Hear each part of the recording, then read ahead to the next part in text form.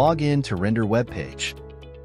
After logging in, enter the Assess interface. Click to launch the Transfer tool. If you have not installed the Transfer tool, please download and install it before launching it. Then click Upload. Upload the project file that need to be rendered.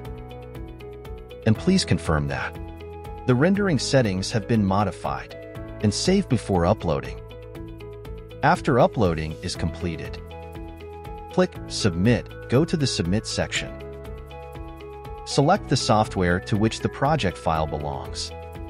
Then select the project file you want to render. Click Next.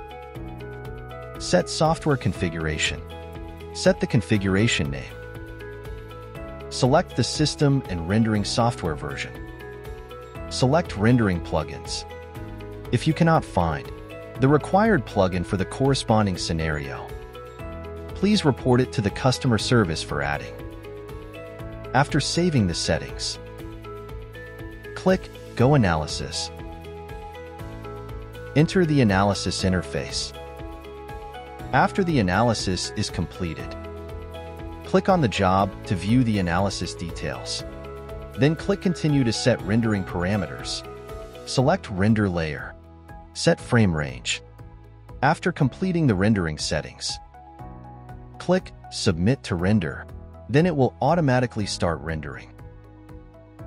Rendering completed. You can click on the job to view rendering details.